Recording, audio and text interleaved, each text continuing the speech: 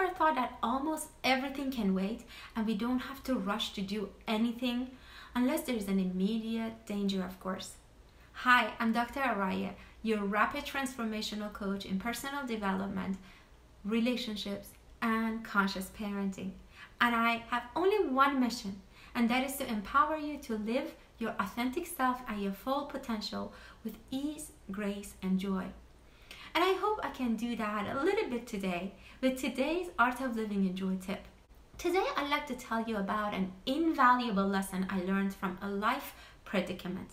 By alchemizing a problem to an opportunity for spiritual and psychological evolution, I rose above a traumatizing scamming incident several months ago.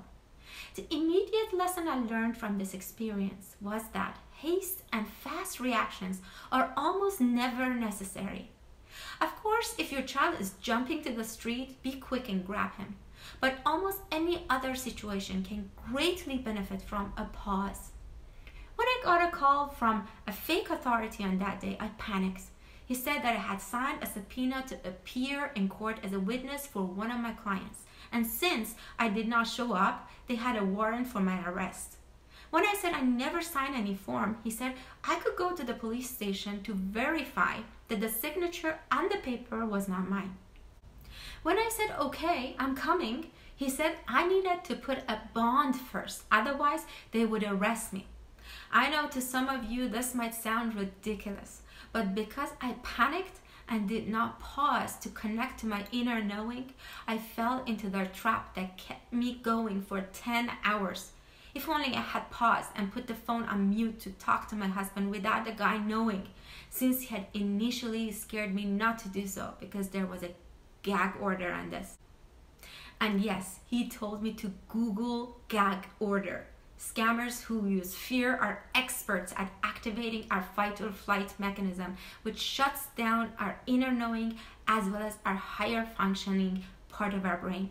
That is why it is essential to take a pause, take deep breaths, and tell ourselves this is not an emergency or this is not a life or death situation, so we can use our higher brain and the wisdom in our heart to proceed.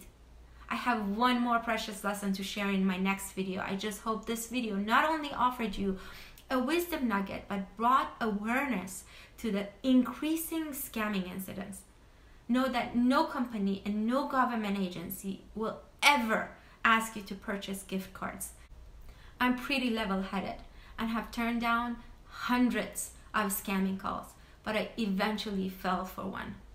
Know that they either use greed or fear Therefore, be super vigilant and don't forget to pause. And oh, last but not least, if you fall into their trap, don't feel guilty or stupid. It is just a waste of your life force. I'd love to know what you think about this tip. Comment below and let me know.